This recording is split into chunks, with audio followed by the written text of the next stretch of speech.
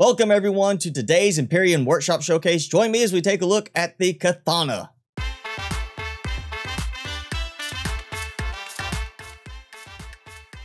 So today's design is the Cathana, and this is updated for 8.5 with the retractable turrets now. And this is an unlock level 25 size class 8 capital vessel coming to us from creator Dan Bolo. This has a nice design and when the outer wing sections feels more like a real ship that we would expect to see in some kind of science fiction setup. When the weapons are retracted, it has a very nice sleek exterior look to it and then of course bam, you activate all of the weapons and you have a heavily armed ship. I'm also a fan of what I assume to be shock absorbers on the top of each wing, which makes it feel like they're allowed to flex a little bit. So most designs, we end up having the hangar bay access at the rear of the ship, but in this case, it's actually in the front, just underneath where the bridge is. We have a nice set of shutter doors to open up, revealing of course the hangar bay door, and a nice ramp extending down. The hangar gives you a very large, open, spacious room to put some hover vessels in. We also have our repair bay module in here, as well as two small parking spots on one side for smaller hover vessels, and of course some cargo boxes in case you need to store some cargo down here. To the sides of the elevator at the back of the ship, we have our medical station, a clone chamber, an O2 station, a fridge, and food processor. On each side towards the back of the room, you will find doorways that lead into your fuel storage areas. And along the starboard side of this room, you will find a sectioned off separate room.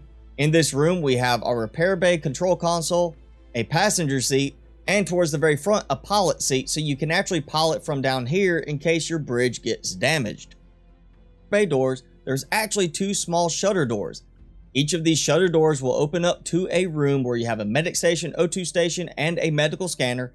Another door that leads into the lower section of an elevator that will take you up top to more sections of the ship, as well as another door leading into a small storage room with four cargo boxes. And then we have another door that opens up, revealing an extending ramp that gives you foot level access to the surface of the planet or moon you are parked on. Taking the elevator at the back of the room, we go up to the next open door, and that door leads into the actual warp drive chamber. Continuing to the top of the elevator, we have a shutter door that opens up to reveal our grow plot area. Now, Dan Bolo took a little bit different approach with this grow plot area than some other creators do. So instead of filling the entire set of grow plots in, Dan decided to have only nine put in place in the default design. This means you only have to worry about producing 9 grow plots to put in the factory to make the design. When you need to expand further, there are 3 more sections of 9 where you take out the walkways and put in new grow plots.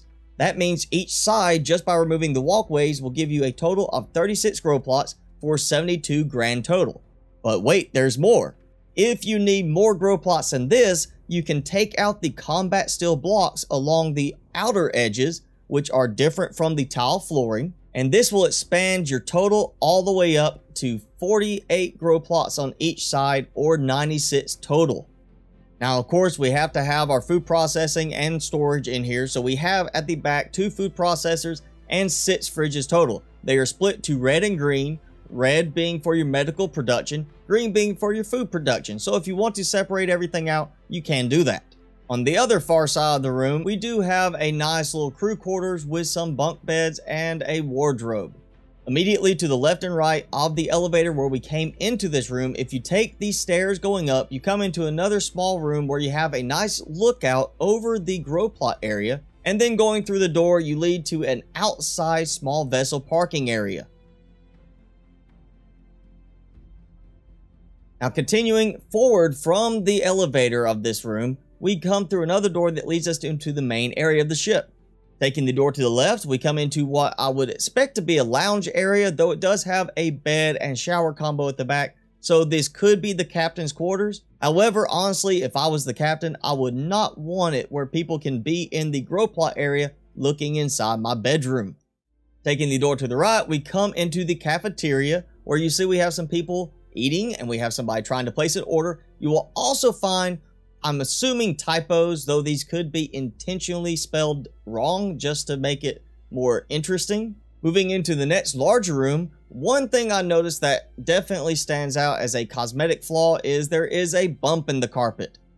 But ignoring that, we do have a very large open kind of lounge area here, or more like a reception area. It's just very open, room for people to kind of sit down, relax, talk, do whatever they need to do while they're keeping things running smoothly on the ship.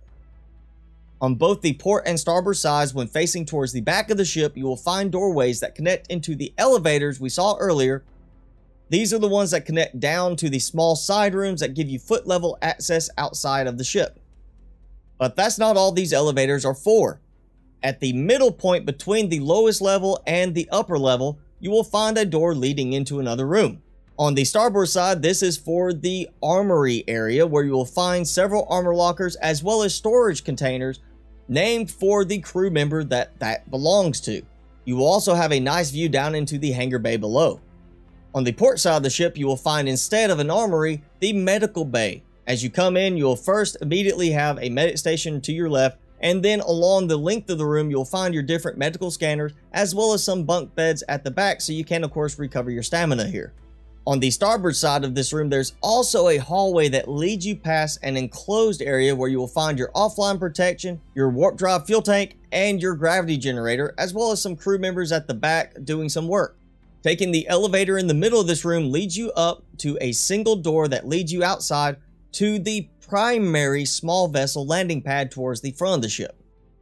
Walking past the elevator on the right side, you will see that you have three advanced constructors and turning to the left, the shutter doors will reveal your cargo boxes. At the end of this section, we have another small little lounge area, as well as an O2 station in the wall, a medic station on the other side in the wall, some couches, and then we have a doorway and another doorway to the side. The automatic door leads you into a small bathroom area where you do have a counter, your toilet, and what looks to be maybe baby changing stations.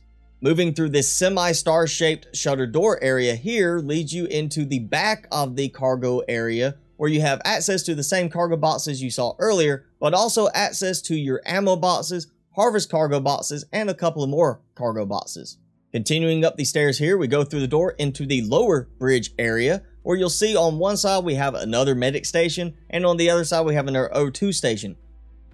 But continuing up the stairs here, you'll go into the main bridge area where you will see a couple of crew members in there helping with managing everything, some nice display screens, as well as pilot seats at the front. Now the ship does come with two specialty switches. The first one is battle mode. Turning this on will of course deploy all of your weapons, and turning it off will retract everything inside.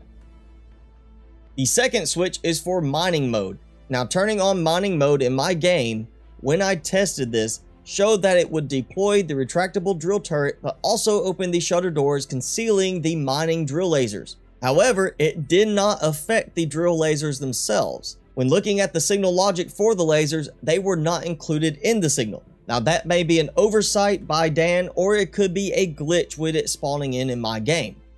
Once again, this is the Cathana capital vessel and it is an unlock level 25 size class 8 design.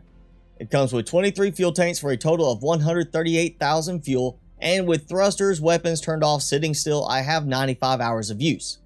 Turning on thrusters, RCS, and battle mode to deploy all the weapons, it drops it down to 40 hours of use, so you will need to make sure you turn these things off when you are sitting still. It carries 40 oxygen tanks for a total capacity of 80,000 O2 and needs 5,721 oxygen to fill it up, which is spread across only 6 ventilators. It also carries a total of 6 oxygen stations, 6 medic stations, and the one clone chamber in the hover vessel bay. When it comes to weapons, this is fully loaded. It has 6 pulse lasers, 2 retractable cannon turrets, 6 retractable minigun turrets, 4 retractable rocket turrets, 4 retractable plasma turrets, 2 retractable artillery turrets, 2 sentry guns, 4 rocket launchers, and 6 retractable pulse laser turrets. It also comes with a nice 63 cargo boxes total which are spread around the ship as well as 10 ammo boxes. There's also 9 fridges, 3 food processors, and the 3 advanced constructors.